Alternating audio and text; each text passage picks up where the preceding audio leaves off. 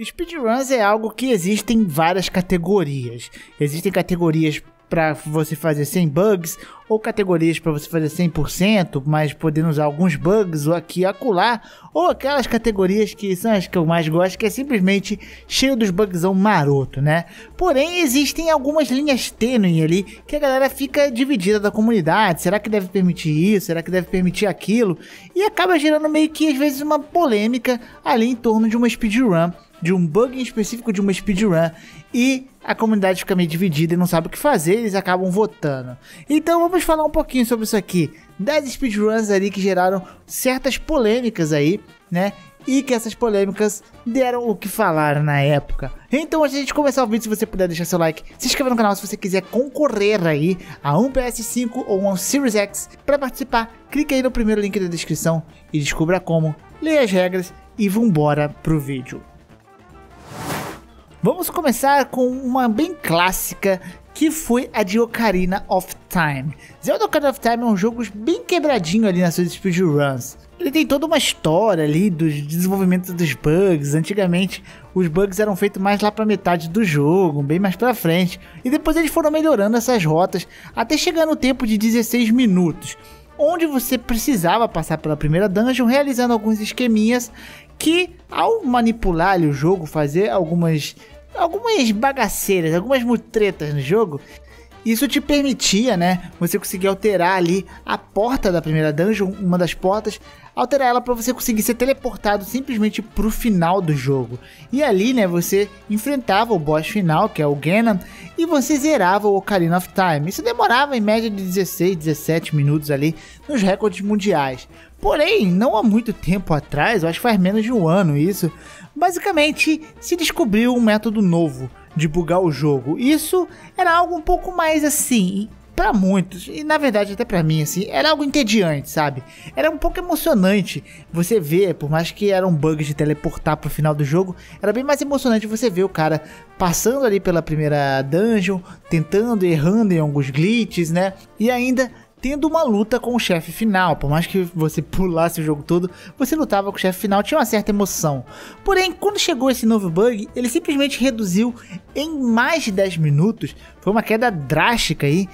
O, o tipo o recorde anterior. Então esse bug ele pegou lá era 16 pá, 7 minutos de recorde mundial. E aí, como era um bug que meio que mudava tudo de um dia pra noite, a galera começou a discutir um pouco sobre isso. Esse bug em questão, ele simplesmente é uma série de movimentos que você precisa fazer para começar a injetar ali na memória do jogo, alterar algumas coisas. É algo bem complexo, você vê o cara quebrando pedra, fazendo vários movimentos sem sentido, o que não é tão divertido assim, mas isso permite simplesmente ali chamar o final do jogo. Do nada chega e chama ali os créditos começam a rolar e você zerou o jogo em 7 minutos. Não é tão emocionante quanto outra speedrun, mas ainda assim é uma forma de zerar o jogo.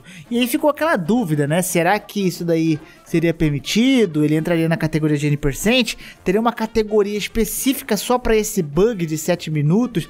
E a categoria de 16 minutos seria ainda a N% clássica?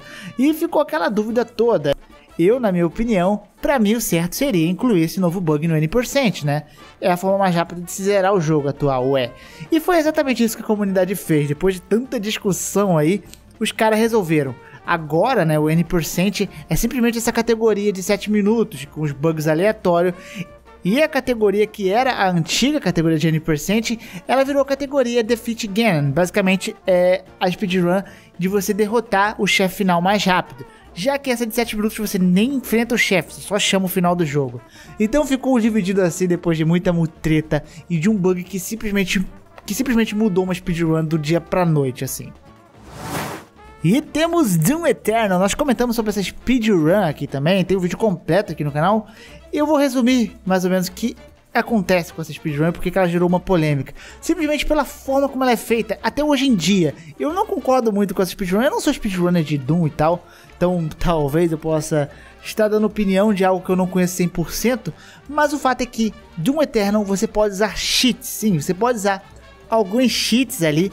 Ele te permite na speedrun, você abrir o console, o jogo tem um menu que você pode editar cheats, e você pode editar console, seja de remapear teclas, ou seja um que meio que te deixa bem forte ali para te facilitar na speedrun. E não só isso, né? Um bug que em Doom ele é permitido, esse bug você precisa remapear o scroll do mouse e remapeando o scroll você consegue saltar ali alturas absurdas e assim você avançar no jogo muito rápido. Tanto que é 20 minutinhos a galera zera esse jogo. Porém, existem alguns mouses que o scroll não é aquele scroll que faz aquele barulhinho, né? O cara gira, ele parece tipo um, um né? O bagulho fica girando ali eternamente. Então quem tinha esse mouse tinha vantagem nos bugs. Então, ao invés de eles banirem mouse que tem isso daí, né? O o mouse tem mouse que tem essa opção de você desativar e não permitir essa ativação. Os caras permitiram o quê? Você pode baixar um programa por fora e esse programa, né, que é uma espécie de macro, simula o scroll do mouse para quem não tem esses mouses com esse rolamento infinito. E aí, cara, pra mim já virou meio que uma salada de fruta bagulho, porque você pode usar cheat, você pode usar um programa de fora que faz o movimento dos botões para você. Isso daí não foi só eu, como muita gente falou na época e estranhou. É meio esquisito. E até hoje isso é permitido pelo jogo, né, o que gerou uma tretinha aí, mas a galera tá fazendo speedrun dessa forma, usando programas por fora do jogo, que é bem louco temos aqui também Cuphead, um jogo que foi extremamente popular, aí principalmente no seu lançamento em speedruns. E uma das coisas que muitos usam, e na verdade usam até hoje, é o fato de você fazer o weapon swap no jogo. É você poder ter uma arma e você conseguir trocar ela rapidamente meio que ignorando o cooldown de cada weapon, cada arma que pode ser trocada. E assim, né, trocando rapidamente, você consegue disparar mais tiros trocados da arma. Isso basicamente dobra ali o dano do personagem, né? Então, isso daí é usado na speedrun, obviamente, para deixar tudo muito mais rápido, sabe? Fica muito mais tranquilo fazer speedrun dessa forma. Porém, ali, depois de um tempo, né, a comunidade, o, os moderadores de Cuphead decidiram banir isto como uma forma de glitch. E óbvio que ele só poderia ser usado, né, em speedruns que são permitidas glitches. Isso gerou uma certa treta na comunidade, muita gente ficou bolado, porque, né, tinha gente que discutia que isso não era considerado um glitch, era o fato só de você trocar de arma rápido, né, e assim você podia atirar com a arma um pouco antes, mas era algo que estava ali no jogo que você não necessariamente precisava quebrar o jogo para isso e tal.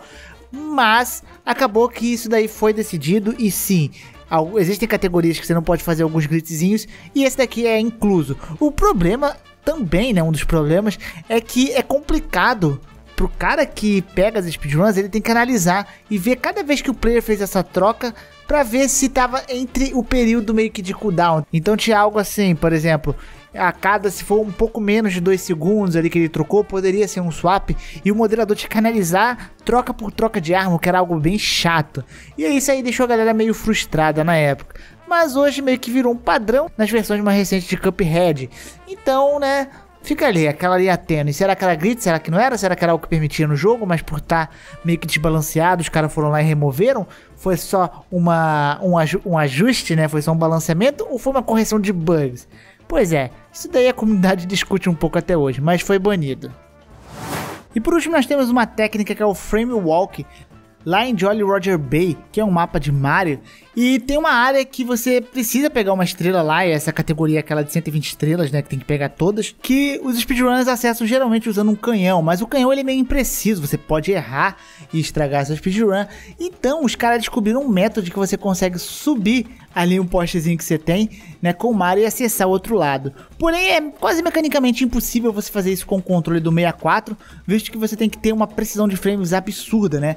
Porque pro Mario subir este, essa pilastra, você precisa apertar para cima em um frame e soltar, né? O analógico tem que voltar pro ponto inicial ali, o analógico do Nintendo 64. E um frame também, você tem que ficar subindo e descendo, subindo, mas tem que fazer isso muito rápido, de uma forma perfeita, o que é bem difícil. Então o que os caras arrumaram? Os caras arrumaram um controle de GameCube, adaptaram, fizeram um adaptador que poderia remapear esses botões, ou usaram junto um outro controle ali remapeado, que basicamente pegava uma tecla, né? De um, um botão que remapeava, que ao apertar esse botão, ele simplesmente subia o analógico para cima, né? Então, com esse botão extra, ele podia deixar um analógico parado, ele está no ponto zero, e apenas apertando um botão ali consecutivamente, fazer o Mario ficar e subir pela parede, alcançando ali a estrela, né? Isso daí gerou uma certa polêmica porque necessitava de algumas coisas extras, né? Você precisava de um controle e você precisava de um dispositivo ali para mudar, para remapear botão ou usar junto um controle alternativo. E isso meio que poderia dar vantagens ali para outras pessoas que as pessoas que não tinham acesso a isso iam se sentir prejudicadas. Então teve uma, toda uma treta se ia banir ou não, se ia permitir, e no final decidiram que pode, você pode remapear os controles, porém você não pode mais ali ficar mudando esse remapeamento durante o jogo. Você começou com mapeamento, se você está usando dois controles, por exemplo, os dois tem que estar assim.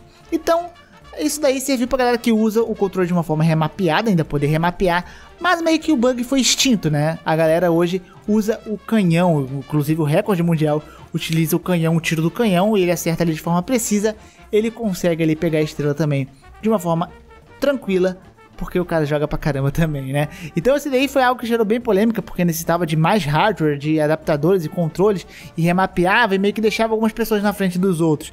E aí deu uma deu o que falar na época, mas a galera votou e este foi o resultado. E meus queridos, muito obrigado pela sua atenção. Esse aqui é o vídeo. grande beijo, grande abraço. Eu fico por aqui. Um beijo no popô. É nóis. E fui.